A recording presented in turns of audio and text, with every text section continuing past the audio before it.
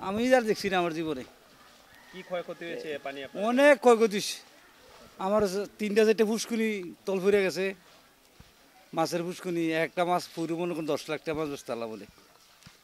এটা হয়ে গেছি গিয়া কেমন বাড়ি ঘর তো বিড়ো এটা করতে মাঠটা গোটা ঘর তো নাই এ। বেড়া ঘরও অনেক জনে ফুরে গেছে ক্ষেতের ফসল নাই। গরু বসুলিয়ে খুব কষ্টে আছি। গরুর খাদ্যও তো নাই। এই আর কি। এভাবে কারা কেউ আসছিল? খোঁজ করে অনেকে দেখছি যে না না আমরা কোনো করতে পারেন না। খাবার টাবার কীভাবে না না আমরা কোনো খোঁজখবর পাইছি না।